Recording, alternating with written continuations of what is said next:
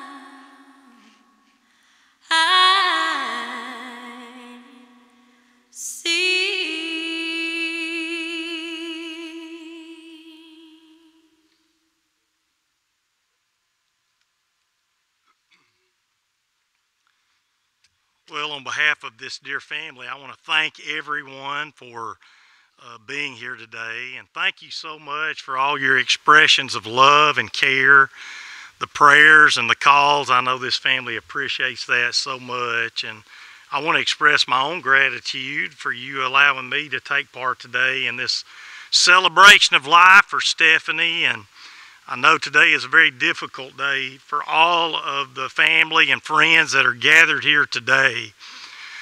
But it's also wonderful that we have the Word of God that we can go to for comfort and for hope and understanding. And I know that all of you here today are dealing with mixed emotions. There's sadness, and there's tears, and there's grief. And that's fitting because uh, you have lost a wife, you have lost a mother, a daughter, a sister, a grandmother, and a friend. And but there's also hope in our midst today and joy in our midst today because of the hope that we have through the Lord Jesus Christ. And we know that Stephanie had a personal relationship with the Lord Jesus Christ, and that gives us hope. The Bible says that Stephanie is with the Lord Jesus Christ. The Bible says in 2 Corinthians 5 6 through 8. So we are confident, always confident, knowing that while we're at home in the body, we are absent from the Lord, for we walk by faith, not by sight. We are confident, yes, well pleased rather. To be absent from the body is to be present with the Lord.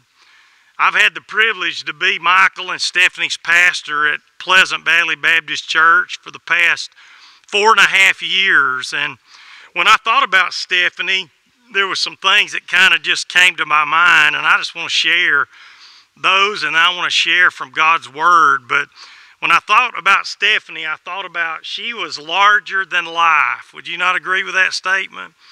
And she always had a smile on her face. She was always so kind to me, and anytime I ever saw her, she always had a big smile. She always dressed like a million dollars. She was dressed to the hilt, and she had all of the accessories to go with it, right? And that was Stephanie. She always brought, I thought about her, I thought she always brought color and life to any room she walked into. That was her personality. And she was a fun, jovial person who liked to smile and liked to laugh. And something that I thought about that always made me smile and laugh about Stephanie was her Sunday selfies. Y'all know what I'm talking about? She would always take pictures of herself all dressed up and would put Happy Sunday. Now I'm going to get you, Michael, because she would also have some handsome man posts. Y'all remember those? And she'd take a picture of Michael in the car and put, My handsome man. But on her Facebook page, she wrote a true statement about herself, and I think it summarizes Stephanie's life and the way she lived. She wrote about herself fun, loving, honest. You get what you give. I tell it like it is, no sugarcoating. And that was her, wasn't it? When I saw a lot of her posts, I'd show my wife, I'd, it'd make me hungry because she'd put a lot of posts of food and recipes. And Stephanie was a very crafty person. She liked craft, she liked to decorate. And I think about the profession she chose. Uh, she chose to be a nurse. And to be a nurse is a service role, and you have to love people and want to care for people if you're a nurse. And everybody I've talked to, there's several in our church that Stephanie was their boss, was her boss. You know, she was their boss. And everybody that I've talked to talked about what a fantastic nurse she was. And I can't tell you how many people has mentioned that and how great she was at Baptist Village with those older people and how much she loved and cared for a lot of those residents who didn't have family. And she was a strong, independent woman, an outspoken woman. And I'm sure she passed on those traits to her two daughters. And I know she always talked about her daughters and how she loved them and her grandchildren. And we're here today to celebrate a life well lived. Even though Stephanie has left us way too soon at just 53 years of age, she lived a full life and a very vivacious life and colorful life. And so we celebrate her life today. I want to read a verse of scripture and just share a couple of promises with you today. In John 14, verse 1 through 6, Jesus is speaking here to his disciples. And listen to what he said. He said, Let not your heart be troubled. You believe in God, believe also in me. In my Father's house are many mansions. If it were not so, I would have told you. I go to prepare a place for you, and if I go and prepare a place for you, I will come again and receive you to myself, that where I am, there you may be also. And where I go, you know, and the way you know. Thomas said to him, Lord, we do not know where you are going, And how can we know the way? And Jesus said to him, I am the way, the truth, and the life. No man comes to the Father except through me. And here Jesus gives us four promises, and I wanted to share those briefly with you today. Number one, the first promise to Christians is that we don't have to fear death. The Bible says here, let not your heart be troubled. Now, if we don't know where we're going when we die, we might be troubled, but Jesus has taken the fear out of death. Jesus conquered death, He conquered the grave. Jesus died, but He rose again. And so there's no need for us to fear death if we have placed our faith and trust in the Lord Jesus Christ. Revelation 1 17 through 18 speaks about it. It says, And when I saw him, I fell at his feet dead.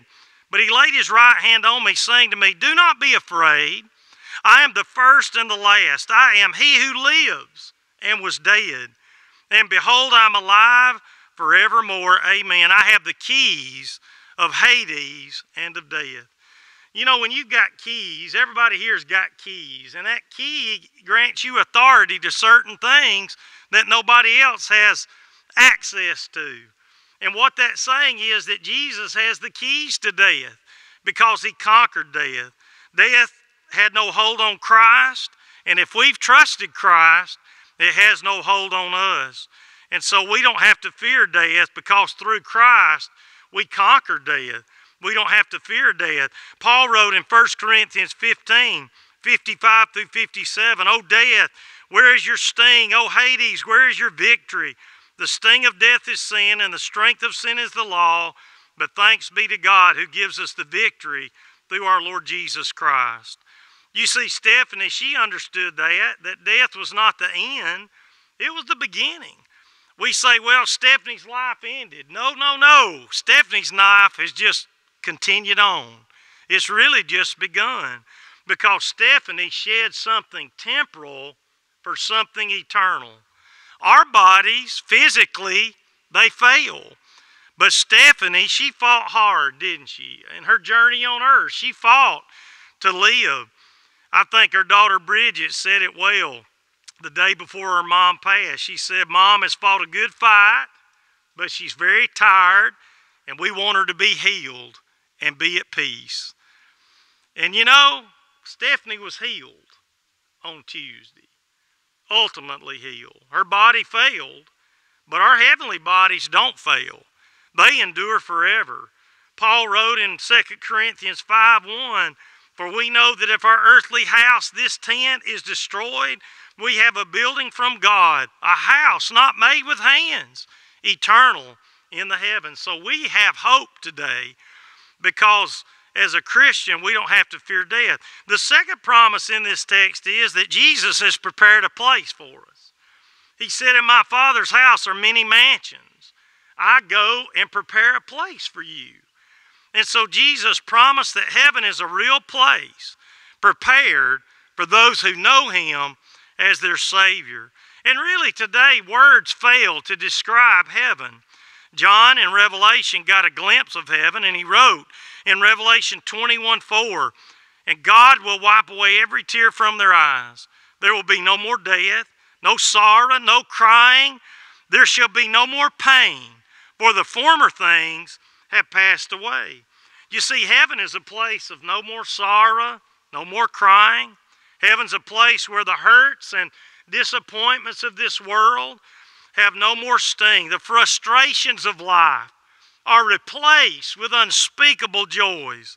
It's a place with no more pain, no more pharmacies and prescriptions to be filled, no more hospitals, no more, no more sickness, no more disease, no more effects of sin. It's a place of great beauty. I thought this morning what Stephanie must be experiencing right now. The Bible says there's walls of jasper, a city made of pure gold, like clear glass. The foundation of heaven is made up of all kinds of colorful, beautiful stones. Don't you know she loves seeing all that color and that beauty? Twelve gates made of pearl, a street of gold. No need for the sun nor moon because the Lamb of God lights the city. Nothing can ever enter heaven that'll defile it. There's a river of life, clear as a crystal, proceeding from the throne of God. There's a tree of life. And Stephanie is there right now, enjoying that and reigning with Christ forever. The third promise in this text is that Jesus will personally receive us. He said, And if I go and prepare a place for you, I will come again and receive you to myself, that where I am, there you may be also. I want you to imagine with me on Tuesday morning when Stephanie took her first breath in heaven.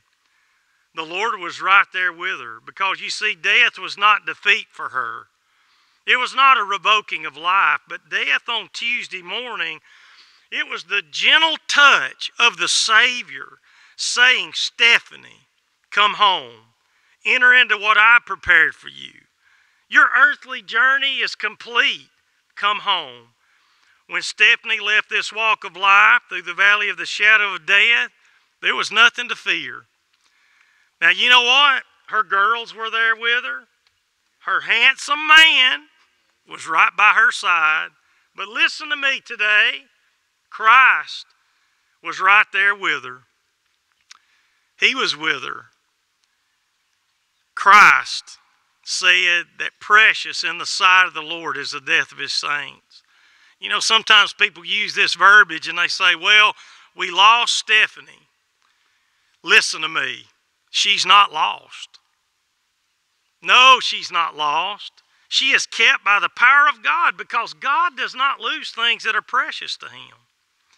And the last promise I want to share is, and I want you to listen to me carefully there's only one way to enter heaven. John 14, 5 and 6, Thomas said to him, Lord, we don't know where you're going, and how can we know the way? Jesus said to him, I am the way, the truth, and the life. No man comes to the Father except through me. Oh, listen to me today. Jesus Christ is the way. He's provided us a way to be with Him in heaven one day. And you know what? It's not a way made up by man or thought up by man, but it's a way provided by the Lord Himself. And Stephanie knew this way. We don't have to face eternity guessing or hoping or hoping we make it. We can be 100% sure that when we leave this walk of life through the valley of death, that heaven can be our eternal destiny. And here's the deal Listen to me now. God made it very simple. For a person to go to heaven when they die, they've got to be 100% perfect. You hear me? 100% perfect. You say, well, wait a minute. Nobody's perfect. You're right. They're not. We have a problem. We are sinners by nature. We have fallen short of the standard that God has set. But let me tell you some good news. Jesus Christ came to this earth and he was perfect. He never sinned. He never did wrong. He lived 33 years and he never disobeyed God, never took a misstep. He was the sinless Lamb of God. He lived a perfect life, proved that he was who he said he was, and went to a cross and died gave his life, shed his precious blood, and died for our sins. And when we repent of our sin and by faith trust him as our Savior, you know what God does? When God looks at you, he sees perfection. Not your perfection, but his Son's perfection. And then we are in right standing with God. We are in perfect relationship with God. We're justified. You know, today I'm, I'm reminded of the brevity of life. Life is a precious thing. And I want to ask everyone here today for you to think about your own relationship to the Lord Jesus Christ. Do you know Him today? Have you repented of your sin and by faith trusted Christ? Are you living for Christ? Because if you're not, you need to. The Bible says, Whoever calls upon the name of the Lord shall be saved. And as I look around in this world, and I'm a pastor, but you look around, so many people are not living for Christ. They're living for themselves. But, friend, I'm telling you, life is brief. And we need to be investing our lives in the eternal. And we need to know Christ as our Lord and as our Savior. I want to say one last thing to the family, especially. All right?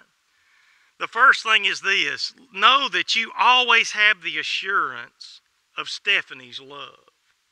These daughters, Michael, sisters, her mother, you got that assurance that she loved you. And you need to carry that love in your heart and carry that love in your life for the rest of your days. Knowing that your mom loved you, that your sister loved you, that your daughter loved you, that your wife loved you.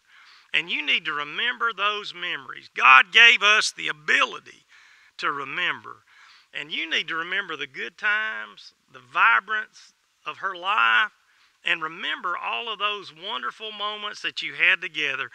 And I want to challenge the family, and I want to challenge everybody here today to follow in her footsteps of loving life, laughing, serving others, and always looking fantastic. Will y'all do that? Will y'all follow in those footsteps? Color the world with your attitude, your love, your laughter. Because that was Stephanie. She brought life to the party. And may the Lord bless you and keep you, is my prayer. And hey, if I can ever be of any help to any of you, you just call on me and I'll be a listening ear. Michael, I love you, brother. I consider you a dear friend. I'll be praying for this family as you go forward from today. And I might even start just calling you handsome man. That might be my new nickname for you. God bless you today. Brother Ed Hurst was Stephanie's pastor, Michael's pastor for several years, and Michael wanted Brother Ed to come. So, Brother Ed, he's going to come say a word and he's going to lead us in a prayer and then we'll have a song and then that'll conclude our service. Brother Ed,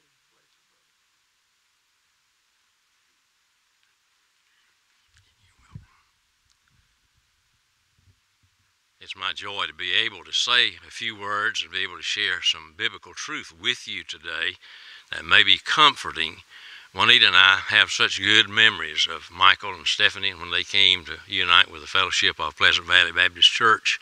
It was our joy to be able to receive them. And my wife was very much like Stephanie. Their characteristics were very, are very, very much.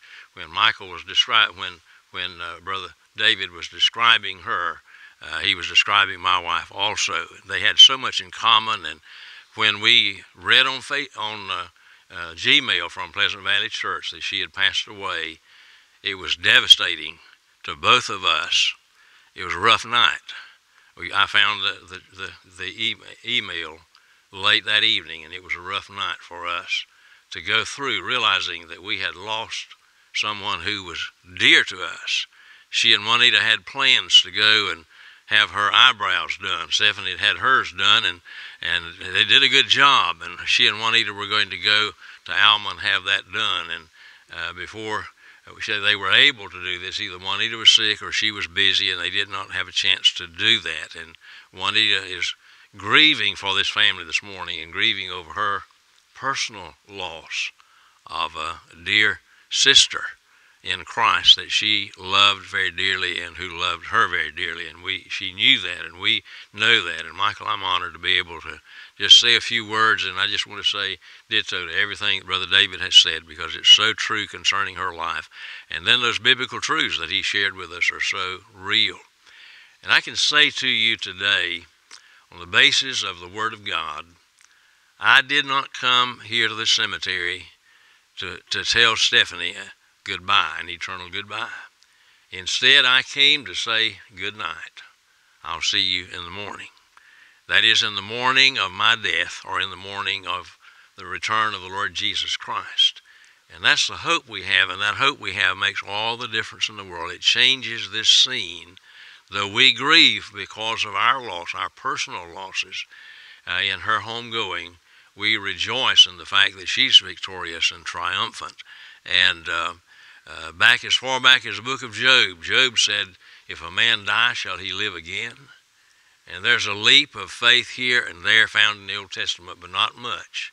But when we come to the New Testament and read about the death and resurrection of the Lord Jesus Christ, he proved that there's life beyond this life, and he promised that to all those of us who put our faith and trust in him.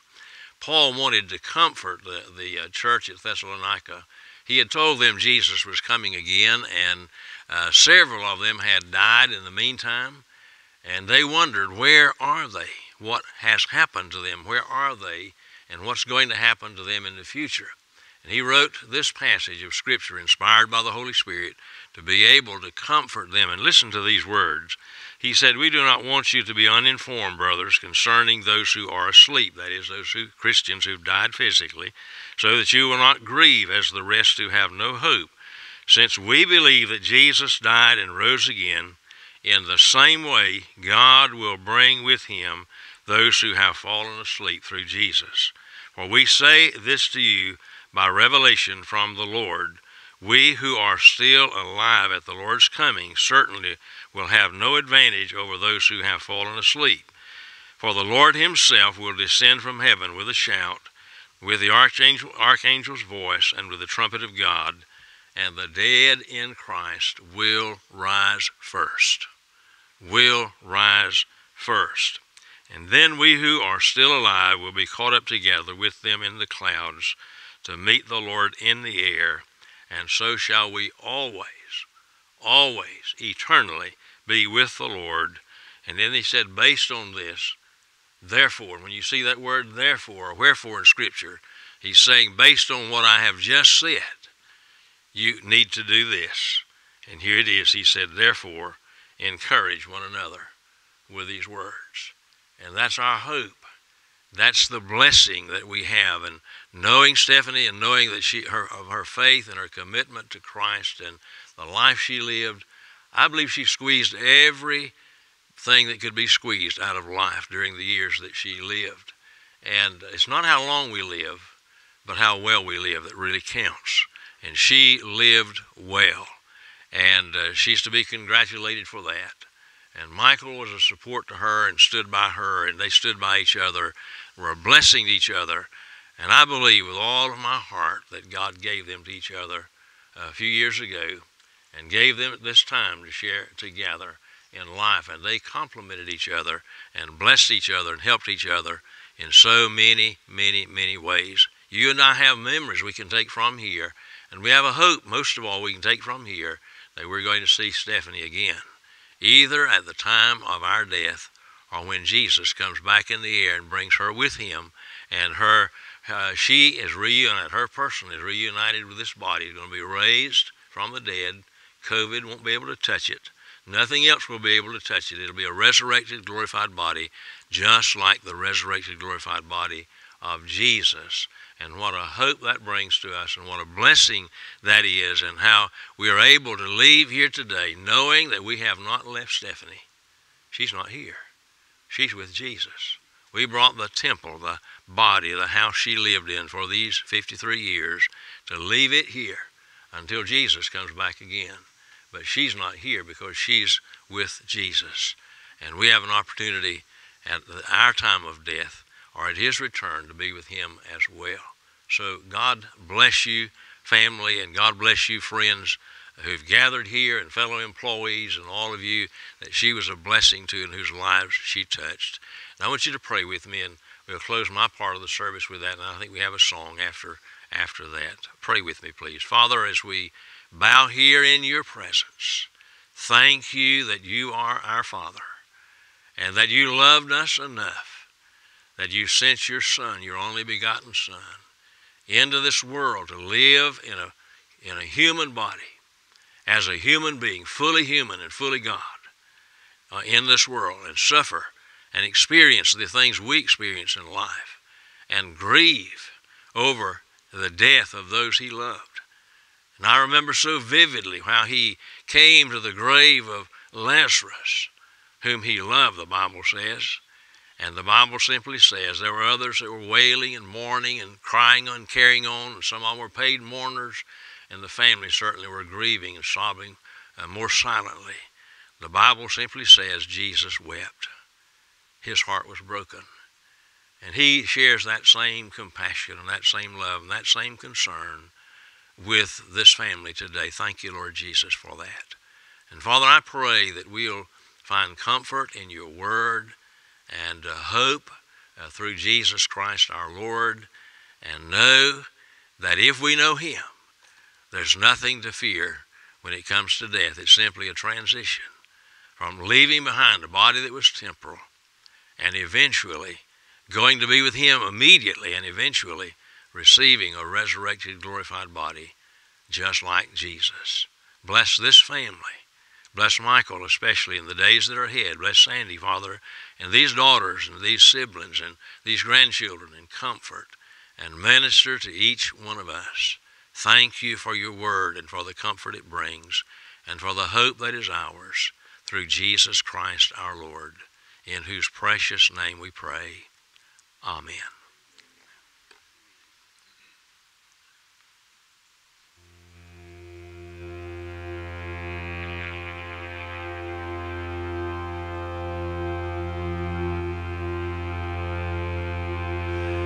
Beulah land, I am longing for you, and someday on thee I'll stand,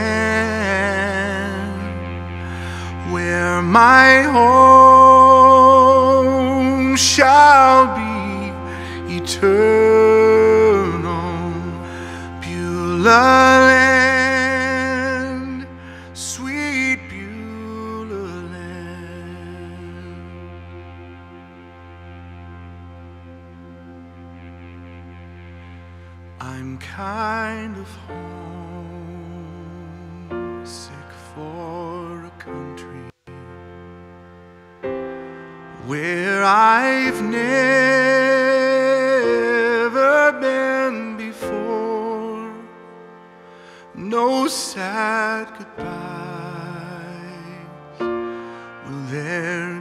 be spoken, for time won't matter anymore. Beulah land, I'm longing for you, and